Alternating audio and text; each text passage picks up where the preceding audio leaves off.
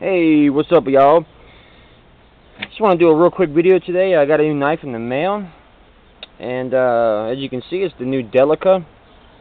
Uh, it's the new Sprint Run Delica with Damascus blade, uh, jig bone scales, titanium bolsters, and uh, you know this isn't really going to be a review. I'm just going to you know talk about the knife and uh, you know because uh, there's tons of reviews on the on the Delica out there, how it performs and whatnot. So I'm just going to do a little show and tell type deal beautiful knife. Um, I definitely prefer prefer this one over the last one with the all blue, blue titanium and blue uh, jig bone, just because this has more of a natural kind of look. It's not as flashy. Um, the all blue was was very very cool, but I kind of like just the contrast of colors on this.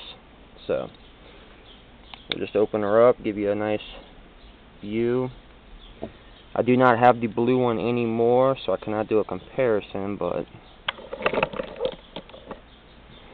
So as you can tell, it's got these beautiful um, kind of amber jig bone scales. Very reminiscent of, you know, older case knives, Schrade knives, just your old-timey pocket knives. Very, very nice. It's a very nice texture.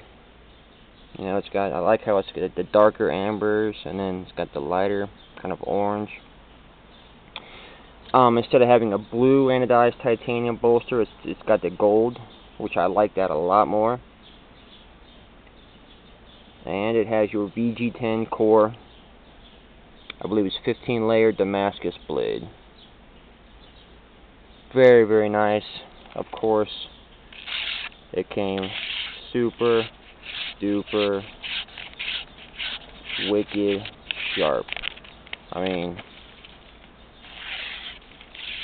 Spyderco edge retention, or Spyderco's uh, honing process mixed with Damascus steel is just super sharp. And it's got the uh, filework on the scale, just like the other one. Very, very nice. Beautiful Damascus blade there lots of really cool patterns and I'll do a macro later on so I can you can see the patterns in this Damascus but right here on the uh, it's just got really really nice patterns. And from what I can tell the Damascus is, is darker in this version than the uh, the other one the blue jig bone and um, overall it's a great great knife. It has no pocket clip I'm trying to find a sheath kind of like what came with the Kershaw Centofantes or what um, William Henry knives does. It's a you know just a, a leather sheath with a pocket clip, so I can stick that in my pocket and uh, carry it that way. Because I really do want to carry this, but I don't want to modify it and have a pocket clip put on it.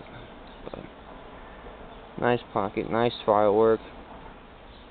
Just just a really nice. It's it's really reminiscent of the 25th anniversary Delica, minus the Damascus bolster and of course Damascus blade, but it still has this the nice brown jig bone, which I definitely prefer over the blue. Overall, really nice knife. It's got some jimping up there. Super duper sharp. As I showed you, I mean, razor, razor sharp. Beautiful. That's how I like it. So, this is the newest addition to my uh, knife collection. And, uh, y'all take care now. Be safe and stay sharp.